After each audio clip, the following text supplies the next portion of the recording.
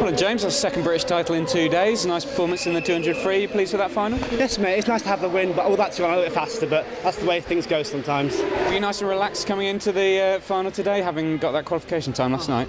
Pressure was off. I felt, it so much today than yesterday. Yesterday I was so nervous, but today I felt a lot more relaxed and having like just enjoying the meet, mate. That was the main thing. Having coming here, having fun today.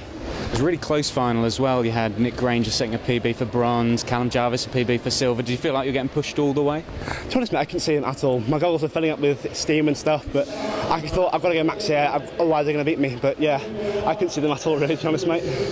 And when it comes to Commonwealths, how high in your priorities is the 200 free? Definitely, I think top two, probably 400 first and 200 first, and then obviously the 4x2 relay, but definitely one of my main events now, yeah. Well done tonight. Thank you, mate. Cheers.